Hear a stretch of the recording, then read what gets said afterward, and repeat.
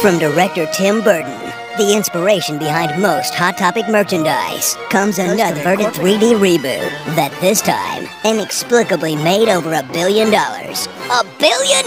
This is why we can't have nice things! Allison fell in love with Lewis Carroll's playful storybooks and sat in awe of Disney's beautiful animated film.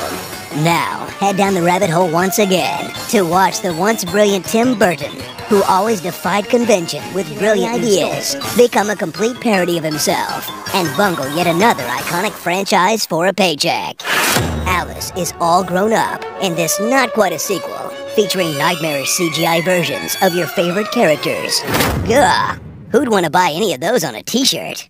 Join these ugly characters for a four-stage young adult being the chosen one, destined to save the kingdom from the evil monster. Because apparently Narnia, Harry Potter, Percy Jackson, and the Neverending Story didn't beat that dead horse enough. Enter the joyless, bombed-out post-apocalyptic wasteland known as Underland. Seriously, Wonderland is Underland now. Watch your childhood wither and die as it's replaced by a sepia tone of animal cruelty. Creatures licking open wounds, and creatures getting stabbed in the eye. Ugh. Roll your eyes at the world's least inspired casting choice as Johnny Depp plays a pasty weirdo. See Burton's Mamuse as the Mad Hatter, whose character is now vastly expanded with a PTSD backstory, actual hat making, and whatever the f this is.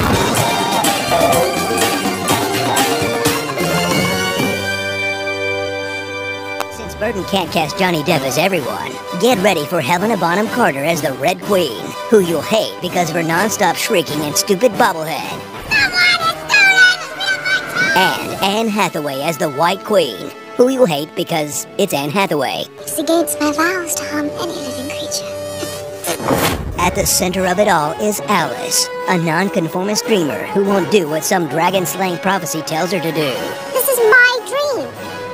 She's gonna be her own independent woman and slay the dragon just like the prophecy told her to do. Girl power? So slog through another one of Tim Burton's farted out kooky adaptations, crammed with all the elements of a goth teenager's emotional detachment. I don't know. I'm confused. Victorian costumes, frowning, tears, and really, really, really white starring. Pale weird Johnny Depp, pale weird Helena Bonham Carter, pale weird Crispin Glover, pale weird Anne Hathaway, and introducing pale weird Mia Wasikowska. Alice in Wonderland. You know Tim Burton didn't actually direct Nightmare Before Christmas, right? It's true. I have to be honest. Oh, I just can't wait for you to click that subscribe button.